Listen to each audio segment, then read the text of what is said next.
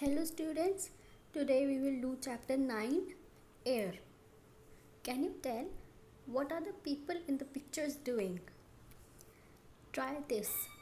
Take water in a big container. Take a small narrow container. Hold it upside down on the surface of the water and without tilting it, push it down the water. Push it down into the water. Now allow it to tilt. What do you see? Bubbles rise at once at the top. What does this tell us? Air is lighter than water, so air bubbles rise to the top as soon as the container is tilted. It means that there was air even in container that appeared to be empty. There is air all around us. It is present even in the places that appear to be empty. Then, how far around us does air spread? Take large sheets of any waste paper or obtain old newspaper of about one month and tear each of the sheets into four pieces. Now place these sheets of paper on at one at a time in a pile floor in a pile on the floor. As the pile grows, observe the difference that can be seen in the layers of paper at the top of the pile and those near the floor. When all the sheets have been placed, observe the difference in the upper and lower layers of the papers. What do you see?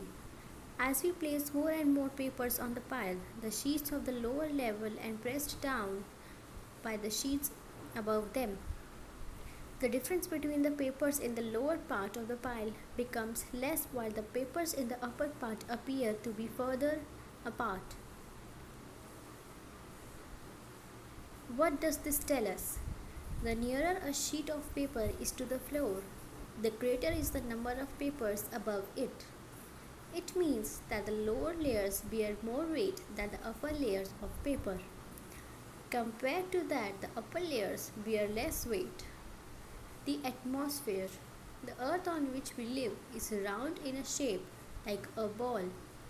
There is air all around the earth. If we go higher above the earth, we find that there is air till a height of almost 50 kilometers. The covering of air around the earth is called the atmosphere. As we go further from the earth, the layers of air become thinner. That is, the layers of air closest to the earth are very close to each other, while the ones at higher levels are not so close. The air at greater heights is rare. Try this. Take a slightly deep dish like a saucer. Stand a candle at its center.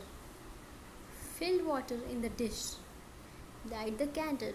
Now place a glass tumbler over the candle. What do you see? Soon the candle goes out and the level of water inside tumbler rises up at certain level. Why does this happen? One of the constituents of air helps burning. As it gets used up, water rises in the tumbler. When that constituent is finished, the candle goes out.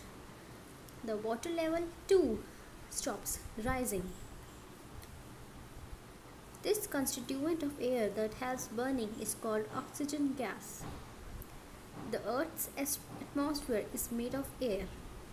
The circle in this pictures pictures show all the air in the atmosphere.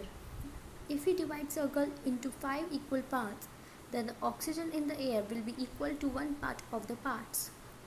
Apart from oxygen, there are other gases in the atmosphere. Which could those be? The oxygen in the air is used both for burning as well as respiration. Which are the uses of air you know about? You have learned that the gases that fizzes out of soda water is carbon dioxide. This gas is present in small quantities in air too.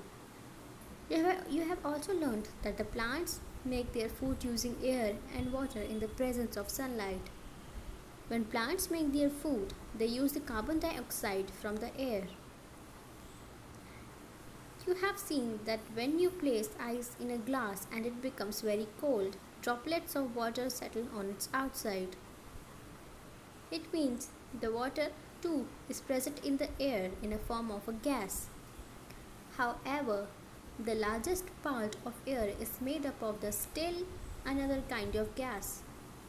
This gas is called nitrogen. Thus, there are several gases present in air. In other words, air is a mixture of several gases.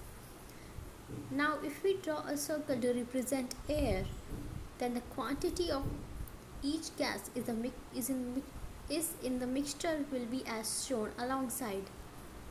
Do you know the burning that take place in factories, vehicles, stoves in kitchens, etc. gives out smoke. This smoke too mixes with the air around us. What we have learned Air is present all around us, even in places that appear to be empty. There is a covering of air all around the earth. It is called the atmosphere. The layers of air in the atmosphere close to the earth are pressed closer to each other while the upper layers are rarer. Air is a mixture of several gases oxygen, nitrogen, carbon dioxide, and water vapor are its main constituents. Always remember, fuels like coal, petrol, and diesel give out smoke while burning, which mixes with the air. This can cause ill health. Exercises. Find out. Before drawing a medicine into the syringe, why is the plunger first pressed to the bottom of the barrel? Think and tell. Name some things of everyday use in air. Sorry, I'll read this question again. Not question, sentence, it is a sentence. Name some things of everyday use in which air is filled under pressure. What is seen mixing with the air when wood or coal burns? What, cat, what gets mixed with the air when water boils? Fill in the blanks. There is dash even in, even in an empty container. The air at the greatest height of the earth is dash than the air nearer to the earth. If all the air were divided into five parts, the oxygen in the air would equal dash part. There is air till a height of about dash kilometers from the earth. The layers of air nearer the earth bear dash weight than the upper layers. Thank you.